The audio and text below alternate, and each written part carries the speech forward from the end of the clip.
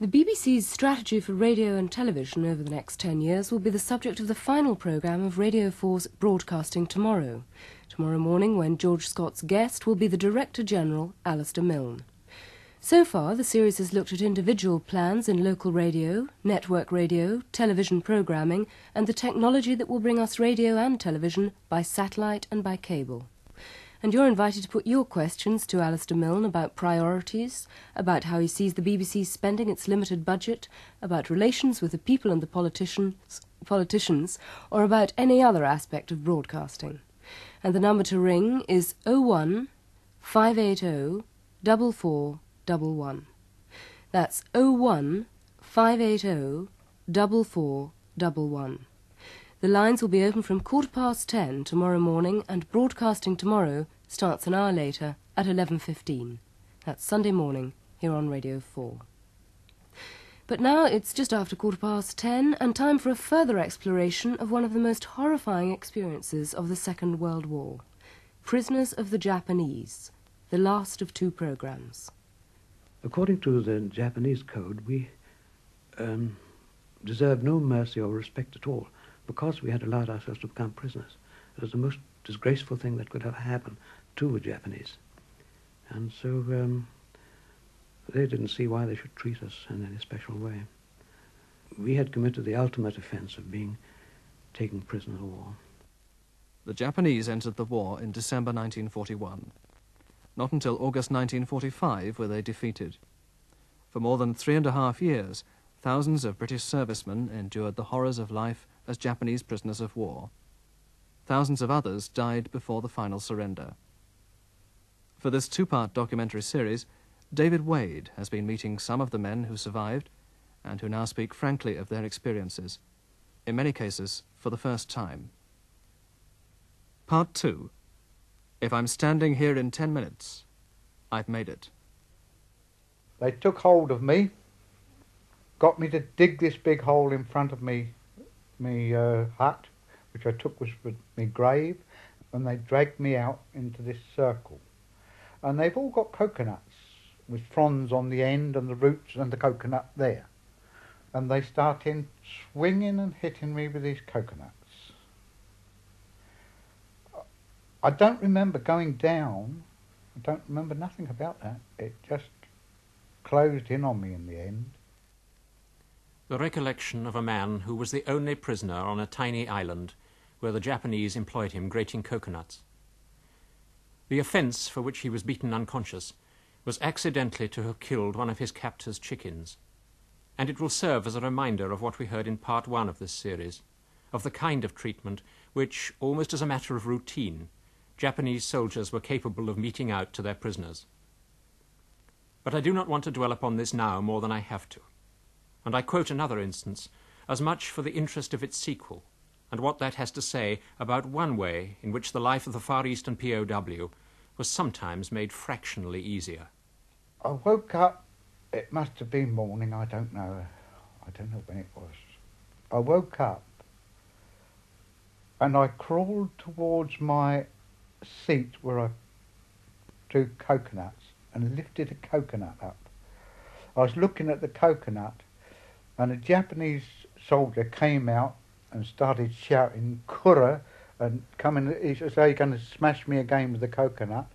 And the sergeant, uh, the the sergeant major, the officer, this is, at the top of the hill, told him to stop.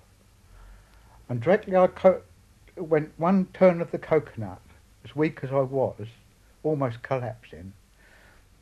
The, he directed the other soldiers to bring me out a banana and a third of a cigarette. And not uh, not only that, to my surprise, it, in the uh, evening they'd cooked this bloody bit of chicken, and they'd mar- made marze mesh. I, I, suppose all the Japanese prisoners of war know what it means, but it's rice and it's chicken all mixed up with it. And they brought me a meatball of this with the chicken in it and gave it to me. An act of minimum humanity, you might say in which it is also possible to see either tactlessness or a further refinement of cruelty. The victim is made to eat the flesh of the bird for whose death he has just paid so severe a penalty.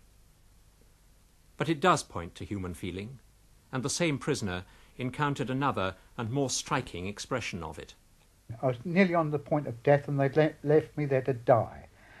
Higaki came up and he put his hand on my shoulder and he was shouting like hell at me in my face, but I could feel that he had an egg in his hand and it was on my chest. And I put my hand up under his to put my hand over the egg and he slapped me both sides across the face and walked away. And when he'd gone, then I broke the egg and sucked the inside of the egg out. Higaki's action very probably saved this man's life, and he must have known that as he did it. But observe that in order to perform an act of mercy, he plainly felt it necessary to behave in accordance with the ruling ethic of brutality. Why? You see, it's just their system. And in our city, one doesn't book the system even in this country. It, it, normally, one goes along with it. And the system demands that you treat prisoners of war as nothing less than a, a very low-grade kind of coolie and not worthy of any respect. You'll do this. But there are some people who, even in our system, who see through the current ideology, whatever it is, and apply their own standards, whatever they, whether they're right or wrong, they apply their own standards. Same with the Japanese. I can't remember names after all this period of time, but it was one or two individual Japs we got on quite well with, who did try to help us, did give us some of the rations occasionally. Um, we're not all horrid and beastly, they were normal people, ordinary family men. And this is what, the only thing that gave us encouragement that there were some Japs who could be civilized. Much of my questioning and reading has disclosed the existence, albeit rare, of individuals, both soldiers and civilians, who could be counted on to behave with more or less covert decency, and who gave their prisoners precious hope. It is, on the face of it, paradoxical, in the light of their otherwise appalling reputation, that quite often these people were Koreans. But in that case, they were likely to be Christian converts, in whom another ethic held sway. However, in the Japanese, too, there were areas in which their own ethic sometimes admitted of what we would recognize as humanity. I myself was never beaten up. Uh, I remember a guard coming round um, the hut one day for some reason and he just bashed everybody, but he didn't bash me. I, the only conclusion I could come to was that uh, that I was older. My hair was white then. I, w- I went grey very young in my late twenties, and uh, because one of their religions is the family, they looked on an old person as somebody who shouldn't be touched. Respect for the family also meant respect for fecundity, and a twice married soldier who was able to produce a photograph of a wife and sixteen children found life much easier than many of his fellow prisoners. And then there were infrequent occasions when quite unexpectedly the anticipated savagery would evaporate and reveal a recognizable fellow being. it was a bit of a joke, really, because these Japanese soldiery were little fellas, and their rifle and bayonet, they always walk around with fixed bayonet, uh, sort of dwarfed them. Um, Watanabe, who had glasses like these like these pebble kind of glasses, that he didn't look strong enough to bloody well uh, do anything. And there was us great big hulking boots having to uh, uh, stand up and salam to him. And uh, one day I remember one of our blokes started to laugh, and he heard it, and he went crazy, and he whoever he suspected, he got him out, and it was a bloke called Sergeant Winspear, and he made him kneel down, and he hit him on top of the head with all these laid out ration tins, and uh, we thought, God, what's going to happen next? And uh, all of a sudden he said, ah ha ha ha, very funny, very funny. With that he stalked off out. But usually, such incidents did not end so happily. As we have heard, brutal punishments for seemingly trivial offences and as a means of forcing work out of prisoners were the norm. And the only man I encountered who could look back on a slightly less savage regime had spent much of his time in a camp that also held some of the more senior officer POWs. So, how did men tolerate this treatment? If you were beaten, how do you react? In the first place, there's the most enormous resentment that anyone can do this to you. And then there's a, um, I think it's probably a sort of some marvelous psychosomatic reaction or something, you become deadened. And, you know, just lie there. And uh, the pain, uh, cease to feel pain, that comes later. I haven't been wounded, but I'm told exactly the same happened with badly wounded people.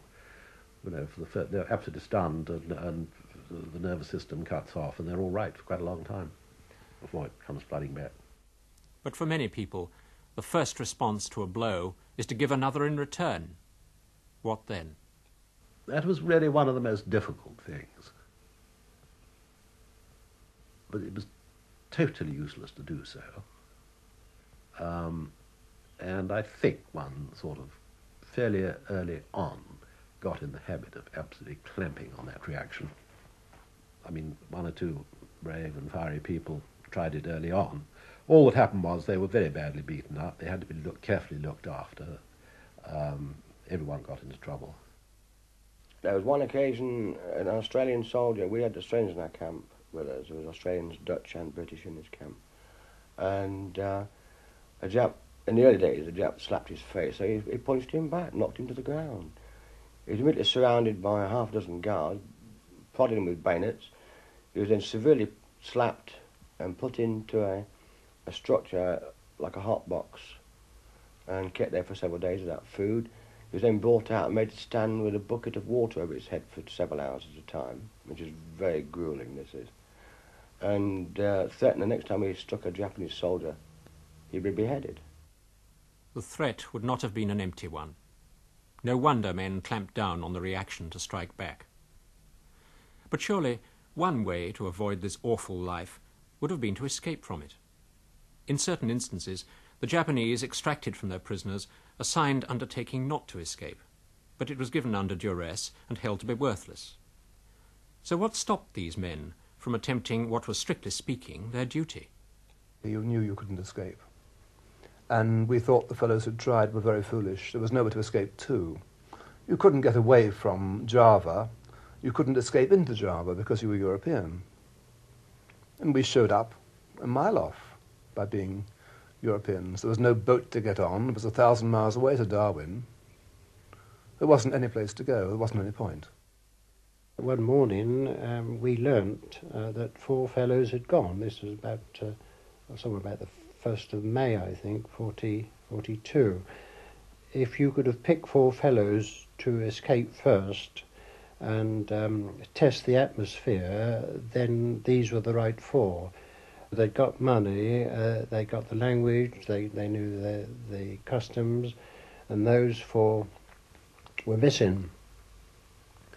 Uh, uh, two days later, we were working on the uh, aerodrome, uh, and uh, we were called back into the camp, which was adjoining the aerodrome, and they lined us up, um, and they brought out these four fellows uh, they brought them out and they said these were the four men who had escaped and um, uh, they would be punished and in future for every man who escaped a hundred would be shot. Now they beat these fellows up very badly in front of us, really savaged them.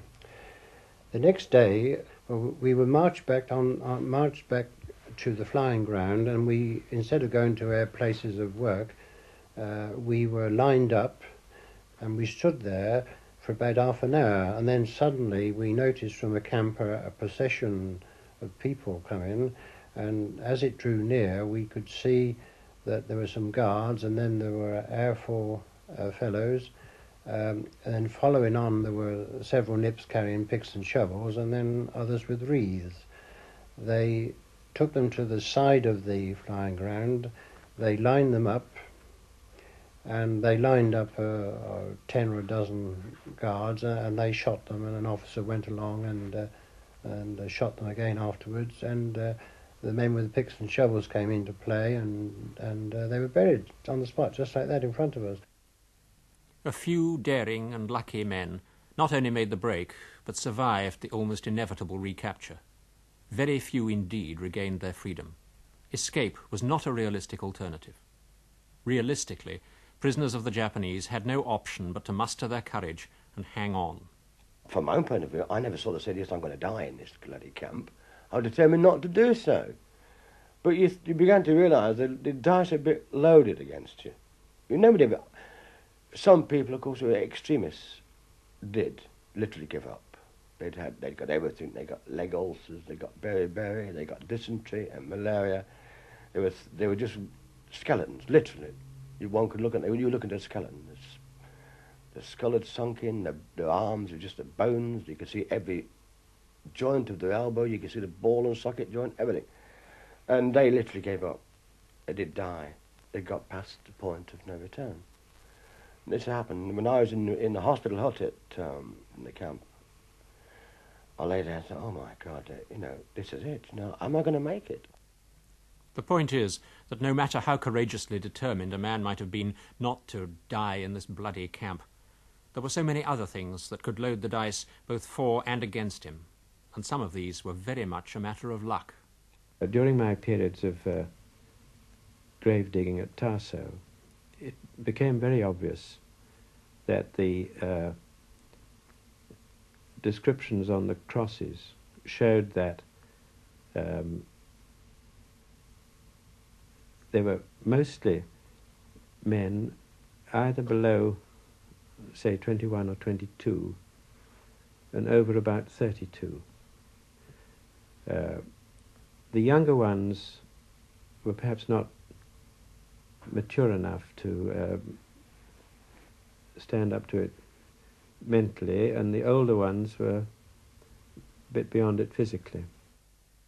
You were all going to have beriberi, you were all going to have dysentery, a lot of people were going to have malaria, and uh, you know everyone had scabies and uh, they had lice, um, and they had uh, pellagra and various complaints. Uh, what really mattered was when you had these. Now I, I had dysentery at Malang. I was one of the early ones, uh, and I'd had dysentery for a month, which which I was doing about 24 motions a, a, a day for a month uh, before I, I, was allowed to be ill, and then at that time I was in a pretty dreadful state. But I was lucky, you see, but I had that at a time when I could survive. There were times if I'd had that, you, you couldn't survive. So uh, you, you were all going to have these things. It really matters to when you had them. Fortunately, I say this in retrospect, I had been uh, in a children's home for four years from when I was six years old until I was 10. And from when I was 10 to 15 and a half, I was what they call boarded out with foster parents. And uh, this, for me, was a godsend. Of course, when I was taken prisoner, um, I'd had a good grounding, shall I say. And I say now, I would sooner do four years in a Jap prison camp than in that children's home. A grim echo of Evelyn Waugh's remark that anyone who has been to an English public school will always feel comparatively at home in prison. And it makes the important point that some form of advanced acclimatization, physical or mental, but preferably both, vastly increased a man's chances of pulling through. If, in the physical sense, he was already acclimatized to the Far East, he was in a much better position than all those thousands who, after months at sea, had scarcely stepped off the troop ships before they were swept up into the bag. But what else made for survival? There was, for instance, the example of other men's personal bravery. A Palestinian Jew named Oster had uh, been found getting some wood, and Nip had found him and, and said he was stealing it, and um, he was to be punished. And the the whole camp was lined up there, uh, after we got back from working party, and they said, uh, uh, and this was a thing they were doing at that time, that everyone in the camp had got to go forward and hit this man. And the first uh, person they went forward to, or was called forward to, uh, to, to hit Oster was Ed Goodchild, the Canadian from Hamilton, Ontario. And uh, Ed went in front of, uh, of um, Oster, and the nip said, no, you hit him, sir. And Goodchild said no. And I said, go on, hit him. And Goodchild said no. And so they hit Goodchild, and, and uh, they said, no, hit him. And he said no. And this went on until they, they hit him with rifle butts, and, and they, other guards went in and they kicked him and knocked him about, but he still refused to strike Oster. And eventually, of course, he was in in a sit, in circumstances he couldn't strike anyway. He was he was uh, unconscious and not completely out. Um, and then the, the camp commandant, uh, the Japanese commandant that is, who had been watching this from the guard room, he came on the scene and he realised that they were going to lose face because if they couldn't get that first man to strike him, they weren't going to get the second. No one could could uh, follow up and and uh, undo what Ed Goodchild had done, and he had enough sense to to stop it, realising that they were on a loser. Well. Um, Ed Goodchild never got over that beating. And he actually uh, died uh, later on on the boat that uh, uh we were going back to uh, Java in. Such dramatic instances could have this very practical effect that they put a brake, if only a very small one, on what the Japanese could get away with. Over and above that, men took heart from them. But it was also possible to find encouragement in the much more mundane circumstances of daily life. They were an inspiration, the officers, no question at all. They were rag, ragged like us, they were bearded, they were lousy like us. When you stood in, in, uh, in line for your bowl of rice and you looked around and you saw a captain or a major standing with his bowl behind you, had done a hell of a lot for morale. Not that we wanted to see them degraded like that, but we thought if they can stand it, so can we. To keep the record straight, it should, in parenthesis, be said that not all men found their officers an inspiration. The whole structure of respect had broken down when Singapore fell.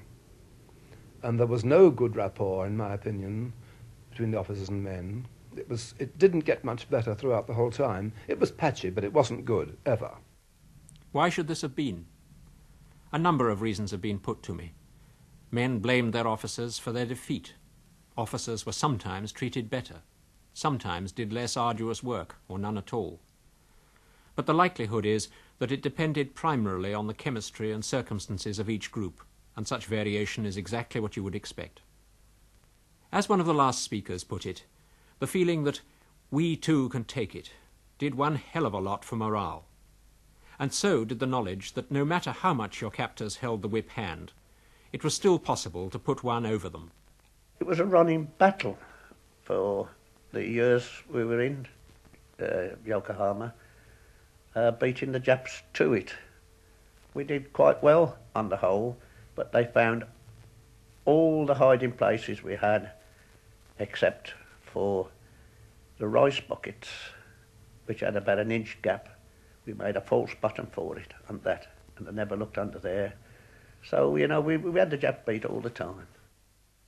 When we were working on a, on a cutting as opposed to an embankment, we had to dig the stumps out. And um, the thing to do there was to uh, get out and select a fairly reasonable stump in the morning and uh, dig it out. And when the next lot of guards came up, you carried it grunting off to the side of the railway and uh, when they disappeared, you brought it back and reinserted it in its hole. Um, they were usually different lots of guards. Uh, they got relieved from time to time. And you could go on doing this all day as they passed up. Passed up. We put um, carborundum paste into the oil sumps of the dynamos and the fan engines. When we were putting the steam pipes up, we put lots of nuts and bolts inside. So we hoped that then when the engine were running, the nuts and bolts would do a lot of good. And we used to, when they rigged up their lights for night work, we used to drop nuts, nuts from the top deck onto these, you know, and the um, the hammers that used by the uh, the platers. We used to spot well to the deck, and as they came in on, they they tried to pick them up, couldn't understand it. And we used to drop uh, plates on hose pipes, water hoses and air hoses. So had the Japanese recognized that, that the fact that they were, were being sabotaged, we were being executed. But they were so slovenly in their workmanship that they accepted this as their own bad workmanship. Apparently, the Japan of the early 1940s was not the byword for industrial efficiency we know today. Indeed, standards were often abysmal in the matter of design, workmanship, and safety. Prisoners then could maintain their own morale by pursuing this running battle with the enemy. And sometimes the enemy, by unwittingly introducing an element of black farce, would do the job for them. One example was the commandant of a camp in Korea. He would make the most fantastic speeches. They would go on and on and on, and we were all lined up to listen to this. And uh, the longer he went on, uh, the worse he got, and got carried completely away, and got completely removed, utterly removed from the scene altogether. And he was just standing up there, uh, just yelling away at the top of his uh, voice, and um, the, then uh, he'd suddenly remember that he was addressing us, and he'd turn round and he'd hit the interpreter, Tokyo Pete, under the ear hole, and say, well, you know, tell him what I've just said. And Pete would then sort of say, uh, in his very, very restricted English, he say, all prisoners be very careful. He say, you understand. And uh, Commandant would look at him and think, well, you know, uh, I wonder if he's right. Uh, I've been carrying on for about 20 minutes, and, and, and that must be a peculiar language, English, if that's all he's got to say. The farce, such as it was, became even blacker with this same commandant's attempts to introduce a bit of high culture. He, one morning, came into the barrack room and set up a blackboard and uh, everything and said, uh, uh, all prisoners will now uh, learn uh, Japanese, um, I think it was Noh poems or something, I think they call them Noh poems. And so uh, he started off, uh, Chisai Kinome wa, and he sat in front of this board. We hadn't had breakfast. This was about six o'clock in the morning. Uh, he brought somebody in to teach us Ikebana, the Japanese flower arrangements, and uh, here we were with people dying from starvation, and uh, all this uh, Japanese culture being pushed down our throats. Although the Japanese had no intention of entertaining their captives, entertainment was a necessity. Even on the dreadful Burma Siam Railway, every tenth day was normally free, and men there organized impromptu concerts. Bridge fiends found time for interminable rubbers, avid readers devoured the few available books, prisoners lectured to one another, and published camp magazines. One man in Sumatra ran a cigarette making business. This was all part of not giving up, and it leads on to more personal strategies for survival, which, indeed, may well have been the most important of all, though some of these were quite remarkably matter of fact, like the possession of one small empty jar of marmite. I worshipped that jar because that kept my one razor blade sharp by honing it on that jar, and I could keep my personal appearance, and keep my pride up one did become fairly adept, at least at avoiding some situations. One knew um, what would upset them. Um, I grew a large beard and uh, slightly above average height, and both these two things seemed to annoy the Japanese a great deal. So I had to sort of keep. I soon got pretty clever at getting into the back rank of any formation one of the doctors warned us against the mind atrophying, I think is the actual proper word for this. And I set my mind to devising a sort of um, a model bus system in a town. I could start off in the morning where I'd left off the day before, devising a system of channels suspended on wires. Uh, an anvil from the roof of the bus would engage in a particular channel and turn it left and turn it right. I had a most marvellous system worked out completely. One went off into one, a world of one's own. Well, I think you try to adopt a mental attitude. It's not happening to me. You try to create um, a wall and you try to obliterate all the, the, the bitter side and the, the, the, inhumanity and the brutality and uh, hope that you won't be the next chap to be beaten up and killed we cultivated a, a prisoner of war mind. You, you've got to live today. Um, and to worry too much about uh, next year or next month or the year after uh, wasn't on. You know, the, the, it was too black. So you you concentrated uh, on what you were doing that day. I know um, I used to, in these uh, nasty moments when uh, there was uh, what we call a panic on and people being knocked around things happening, uh, I used to say to myself, um, Now, if I'm still here tomorrow, I've made it, you see. Uh, and in some critical uh, moments, I, I, I, I'm afraid I, I got down to saying probably if I'm standing here in 10 minutes, I've made it. I'm a bit embarrassed to say it. I believe in the power of, of thought, or prayer, if you like. I think positive thinking. If you, there is a power in the brain which we haven't tapped yet fully. And um, I also had uh, malaria, ST malaria, which is uh, a very bad malaria that goes to the brain and causes insanity and death. But I used to talk to myself at night as if I was talking to someone in my brain every night for about an hour, talking to myself, telling myself to get well. And it seemed to work. Um, I have heard stories of the same thing from other prisoners, ex-prisoners.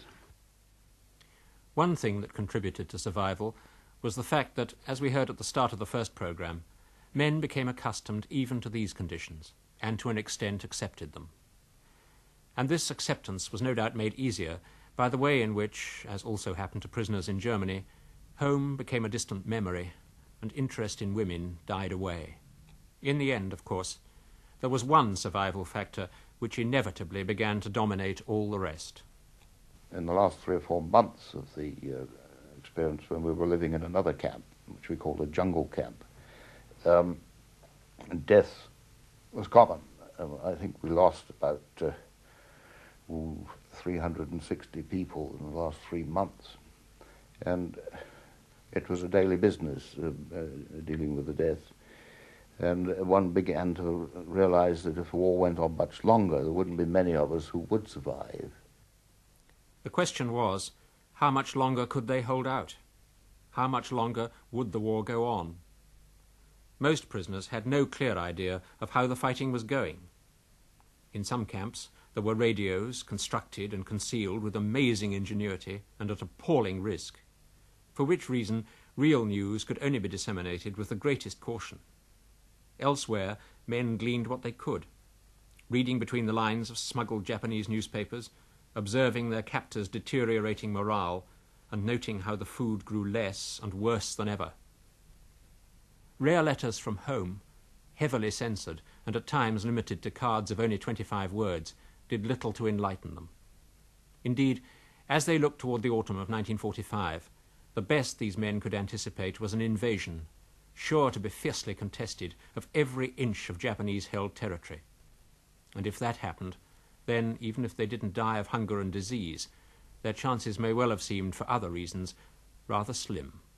I know now, for a fact, that um, if the four American forces had landed on Japan, the island itself we were to be put down, so all prisoners of war would be put down immediately. I'm pretty certain that in certain circumstances they would have turned machine guns on us. I personally believe that the atom bomb saved us because it provided the way to, for the Japs to get out without a loss of face. How far the dropping of the two atomic bombs did significantly shorten the war is a matter of dispute. Certainly, within a week of the bombing of Nagasaki, hostilities were at an end. But some maintain they would have ended very quickly anyway. The Japanese government, though not, it should be said, the army, had been seeking terms of peace some days before August the 6th, when the first bomb wiped out Hiroshima. But even after that, the military remained defiant, and three days later there had still been no surrender. In the Nagasaki shipyards, on the morning of August the 9th, the prisoners were, as usual, at work. It was a beautiful day, and uh, not a cloud in the sky far as I could see. And then suddenly I heard a slight murmur, and I looked up, and I saw a silver pinpoint. And I thought, you lucky guys, just a matter of thousands of feet between captivity and freedom. And started sweeping again. And then I heard a click. And the next thing was a blinding flash, so vivid and tinged with blue. That I thought myself, curiously at that time, I was thinking, Reckitt's blue. Uh, what's the connection between blue and white? You know, that sort of thing across your mind. And then there's this terrific explosion, like a million Niagaras. And uh, I dropped to the ground right away, and, and the dust and bits of straw and paper were drawn up into a huge column. And uh, on each side of me, all around, was this violent flame, yellow and orange.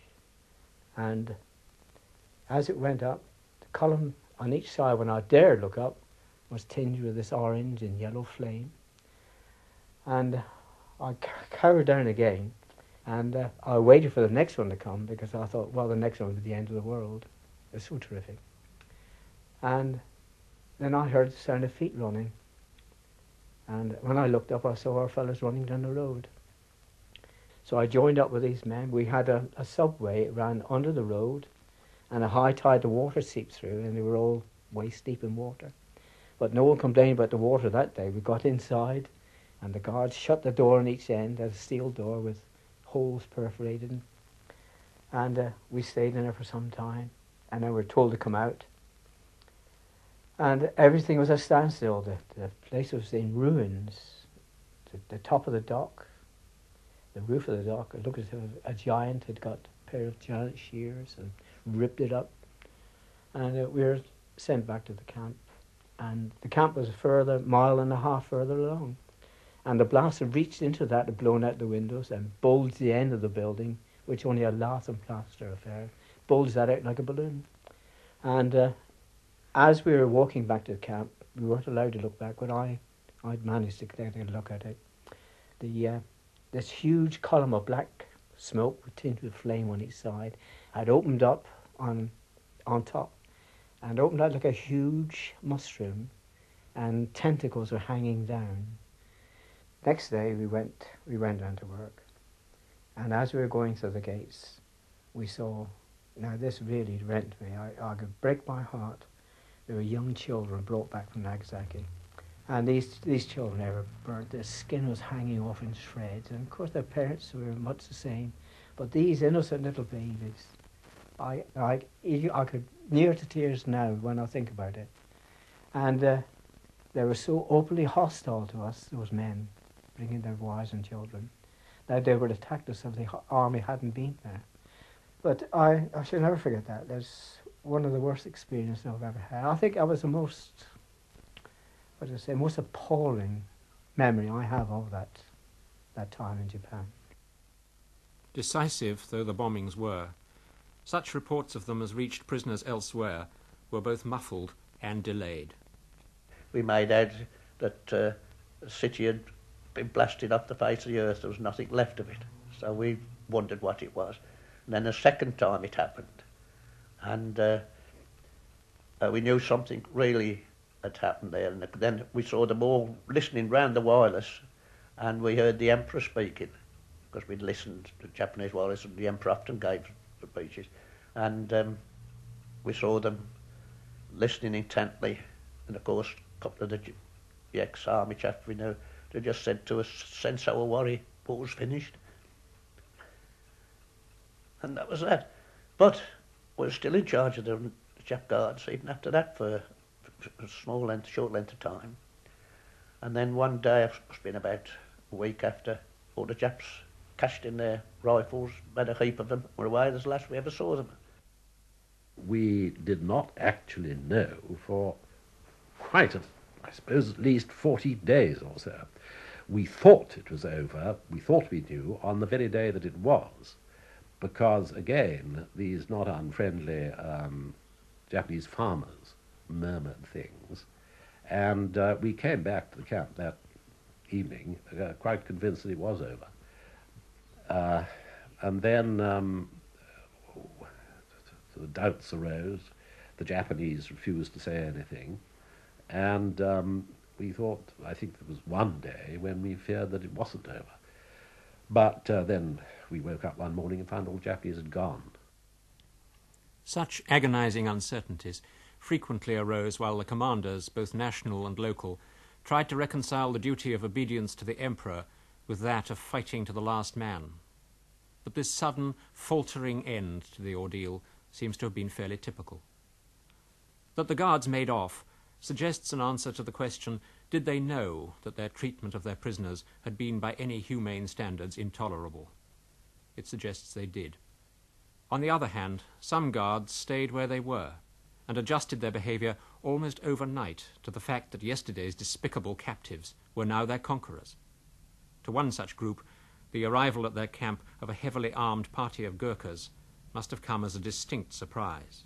A havildar, a sergeant, in charge of this party, just he was horror stricken at uh, the appearance we were in. Where are the Japanese? They were his first words to us. Where are the Japanese? Well, we gladly took them to the Japanese. First to the guards who sat just inside the camp gate. Out came the kukris, and they went into the kukri, beheaded the guard. They asked us for more Japanese. Well, we directed them to where more Japanese could be found. And there was quite a slaughter going on. And then a British officer arrived at the next party and stopped that carnage. And he said, we, we don't do things, in true British style, we don't do it quite this way. And with that, those men knew that in spirit, if not yet in body, they were already home. Indeed, over the next few months, most of them came home in body too. The transition from those three and a half dreadful years to post war Britain seems to have been made with varying degrees of ease or difficulty, and is another story on its own. Certainly, there is no space to tell it here. But all the men I spoke to have survived in at least reasonable health the forty years or so since then, though many still bear the physical marks of their experience, most commonly the ineradicable scars of huge tropical ulcers. But within themselves, invisibly, what other sorts of marks do they still bear? My hatred is still alive. Uh, one of my friends explained his feeling, and I think it reflects mine equally well. He said, if I saw a Japanese on fire now, Andy, he said, I wouldn't spit on him. Knowing of the inhuman treatment that we received at the hands of the Japanese, my regret is that they only dropped two atom bombs. Had it been my way, I would have dropped one on every Japanese city, town, village, wiped them out as a nation. I think I'm wrong in, I, I think I ought to forget. I, I, ought to be able to forget, but I can't. And uh, I'm afraid that I, I still dislike the Japanese. It's, I, realize that there's some fault in uh, probably saying this, but um, uh, I, ju- I just can't forgive them, and um, I, I can't get it out of my system. It's as simple as that. For many years, I would have nothing to do with any Japanese, of course. And as time has gone by, many things in this country, you've got to buy Japanese. You've got no choice. If you want something, it's got to be Japanese. This always bothered me. And then four or five years ago, into Liz's library, where she works in Weymouth, came a Japanese. And when I came in to fetch her, um, she said, there's a Japanese in the corner over there. And then I thought, well, here's the chance for me to lay any ghost if I've got any. This young man, he's got no connection with the war. He's born since the war, obviously. Can I talk to him as a person and not look at him as a possible chap for a, a good swift dig in the river to get my own back? And I talked to him, and over the succeeding few weeks, we invited him and two of his friends who were here in Weymouth on a language course. They came to my house, we had a meal, they provided a Japanese meal, and I found I could I'd laid the ghost. I could talk to Japanese. In a curious way, um, I think during that period, I did build up a little energy. It really made me terribly keen when I got out to forget it all and to get on and try and make a career. It certainly, um, I wasted no time, never wasted any time in, in grumbling about things I can't do anything about or feeling resentful about unfairness or anything like that. Um, you know, I, think it taught me that um, you have to take life as it comes and make the best of it and, and get on with it.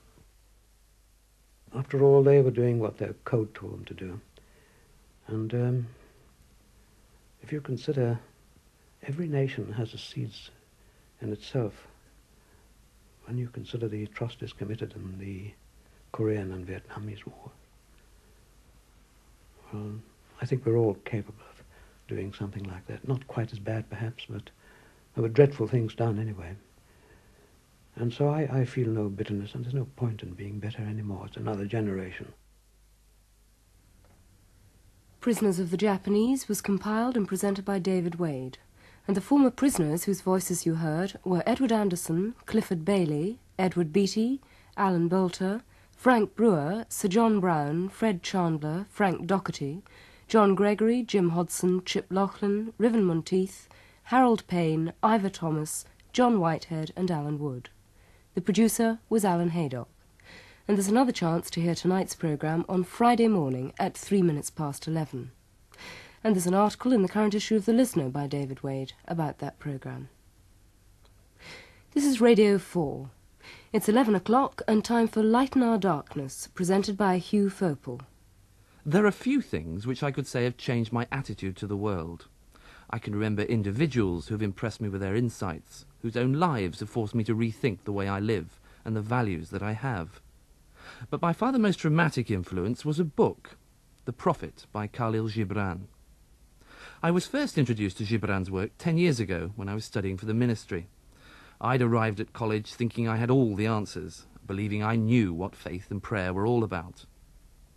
Reading The Prophet introduced me to the mystical element in life, an element that as a young Christian I tended to view as romantic and not terribly useful. Christianity to me was all about action, about doing things and meeting people, not about being quiet or meditating. That was far too passive. Khalil Gibran's book changed most of that. Khalil Gibran was born 100 years ago this month, on January the 6th, 1883, the feast of the Epiphany, the great feast celebrating the manifestation of the Lord to the world and a manifestation which Gibran himself captures in his writings.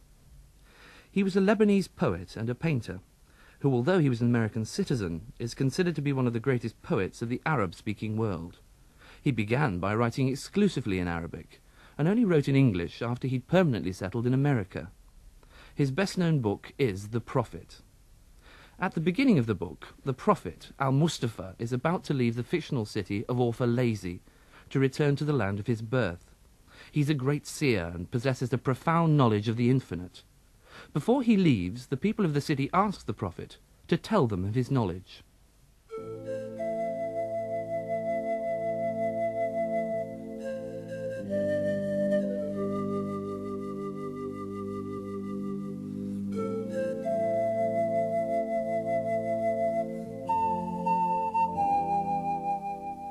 Then said a rich man, Speak to us of giving.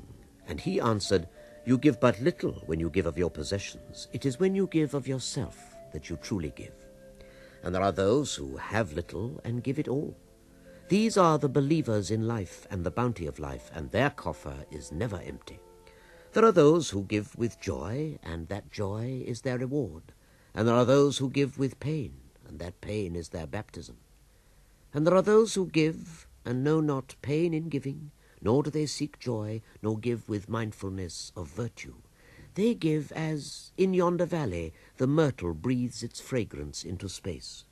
Through the hands of such as these, God speaks, and from behind their eyes, he smiles upon the earth.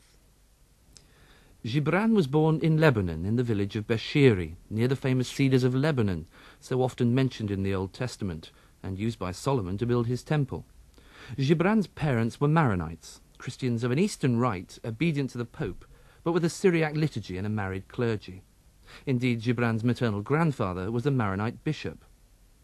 Gibran himself was baptized a Christian, but seems to have spent most of his adult life apart from organized religion. He found it too dogmatic, too stifling for his somewhat freer spirit. He was nonetheless a very religious man. Life was not easy for the young Khalil. His father spent most of his income as a farmer on drinking. Food was scarce, and Khalil and his brother and two sisters grew up against a background of distressing poverty and in an atmosphere charged with tension and bitterness between a drunken father and a despairing mother. Not surprisingly, Gibran craved solitude and often sat alone in a cave sketching, something his father would beat him for at home. Matters came to a head in 1894 when, at the age of 11, Gibran's mother took the family to live in America. But three years later, young Khalil was back in Beirut to finish his studies, and then he went to Paris to study painting. It's from Paris that he wrote Spirits Rebellious, a poem which called on the youth of Lebanon to remember their heritage and culture. It wasn't particularly seditious, but the rulers of Lebanon, under Turkish rule at the time, felt it was dangerous enough to exile Gibran and have him excommunicated from his church. Gradually, however, Gibran's poems and paintings began to attract attention, and in Paris he studied painting under the famous French sculptor Auguste Rodin, who is supposed to have likened Gibran's work to that of William Blake. From Paris, Khalil returned to America, where he lived until his death in 1931, at the early age of 48. It was in America that he met Mary Haskell, a teacher who nurtured his talent and encouraged him to write in English. And although they were totally devoted to each other, Mary more than once refused his offer of marriage, on the grounds that Gibran's somewhat more independent spirit needed to be free of such ties. Nevertheless, they remained close until Gibran's death, and it is from their correspondence, which only came to light after Mary's death in 1964, that we learn so much more about Gibran. We see a man who possessed an amazing insight into the spiritual world. He was constantly searching for that sacred spirit which is such a vital part of all his writings. He expressed his insights in poetry and in painting, and it's easy to see why. Both mediums never deal with facts or dogmas. They draw people to something beyond themselves. They conjure up images, convey moods, describe feelings and Gibran's poetry breaks out of the very words it's expressed in. For Gibran, the poet's great gift is to discover miracles in nature and the commonplace, to see beauty in the moment that seems to be fleeting, but is in truth everlasting. In conversation with Mary, Gibran described his view of the poet's role. Poets ought to listen to the rhythm of the sea. That's the rhythm in Job and in all the magnificent parts of the Old Testament. You hear it in that double way of saying a thing that the Hebrews used. It's said, and then said right off again, a little differently. And that's like the waves of the sea. You know how a big wave rolls in and carries the big pebbles with it in a crashing noise? Then some of the pebbles roll back again with a smaller noise, a sort of undercurrent of sound. And then a second wave will roll up smaller than the first. And then there's a pause, and soon another big wave will come, and the same thing happens all over again. That's the music to learn from, and the music of the wind, and the rustle of leaves. Gibran succeeded in using poetry to convey the most complex of mystical ideas in a simple, understandable way. He managed to put into words images of the infinite. Gibran's poetry captures the very heart of the Christian faith for it talks about relationships, between people, of course, but more fundamental than that, about an individual's relationship with the very ground of his being, with the infinite, which for Gibran and all Christians becomes concrete and real in a relationship with a man, Jesus of Nazareth. In his book, Jesus the Son of Man, Gibran presents Jesus of Nazareth through the eyes of people who knew him, some fictional, some actual. And so we have Mary Magdalene on meeting Jesus for the first time, Anna, the mother of Mary, on the birth of Jesus, Zacchaeus on the fate of Jesus, and Barabbas on the last words of Jesus, and many others, nearly 80 people who Gibran uses to reflect on Jesus. In one very poignant poem, John, the beloved disciple, reflects in his old age.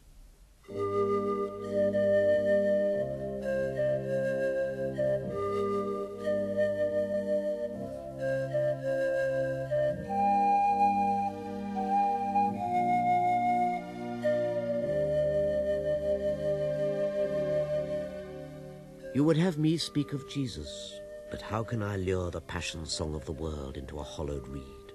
In every aspect of the day, Jesus was aware of the Father. He beheld him in the clouds, and in the shadows of the clouds that pass over the earth. He saw the Father's face reflected in the quiet pools and the faint print of his feet upon the sand, and he often closed his eyes to gaze into the holy eyes.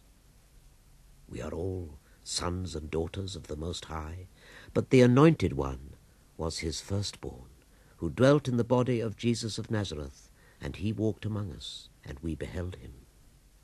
And for Gibran, that person of Jesus was real. He saw him in his dreams and experienced him in his life. In a letter to Mary Haskell, he wrote, My heart is full today, full of strange, calm, serene shadows. I saw Jesus in my dream last night.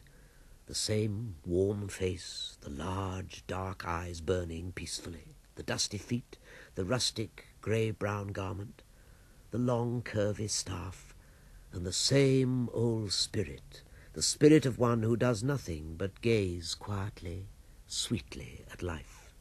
Oh, Mary, why can't I see him in my dreams every night? Why can't I gaze at life half as calmly as he does? In the last ten years of his life, Gibran was dogged with ill health, and he was acutely aware of human frailty, not least his own.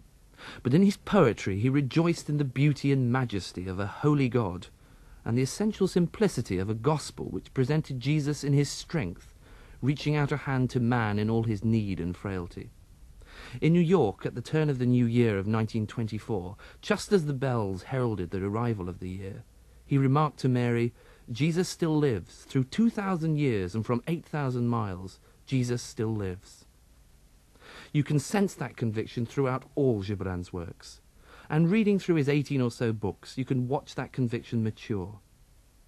In his earlier books, he ignores the world and tends to speed towards eternity. He sees the world as a place where misfortune must purify the soul for its eventual reunion with God. Then the increasing warmth of life leads him to be less dualistic. The material world becomes illuminated with heavenly light. He sees meaning in people's faces and joy in the sound of children playing. At the end, Gibran discovers and acknowledges that humanity is the spirit of divineness on earth. Eternity begins to shine on earth. And at the heart of that is the person of Jesus.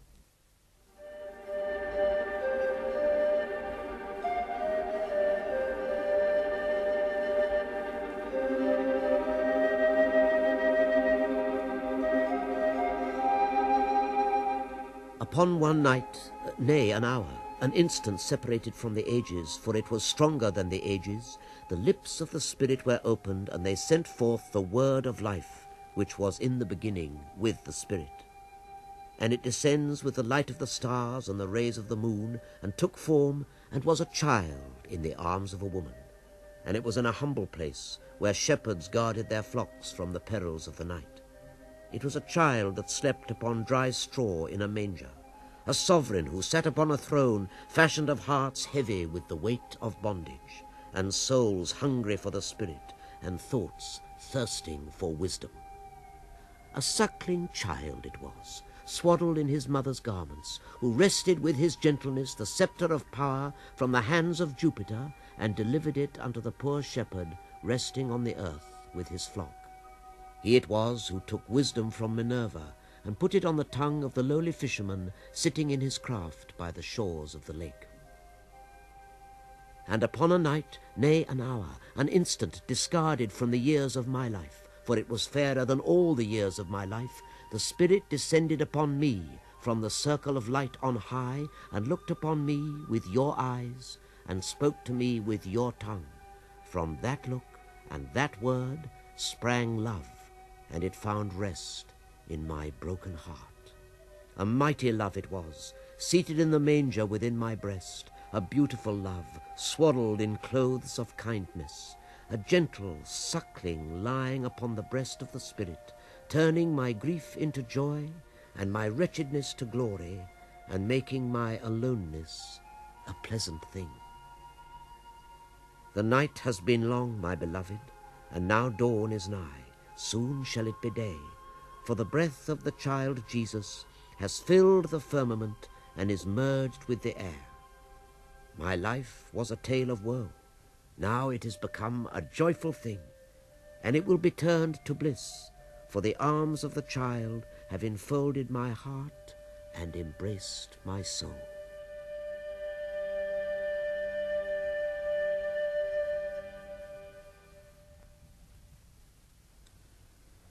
Lighten Our Darkness, a portrait of Khalil Gibran, was presented by Hugh Furpel. The reader was Timothy Bateson.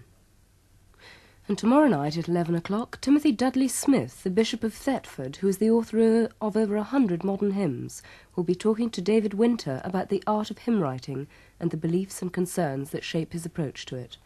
That's in Tell Out My Soul at 11 o'clock tomorrow night. But now at quarter past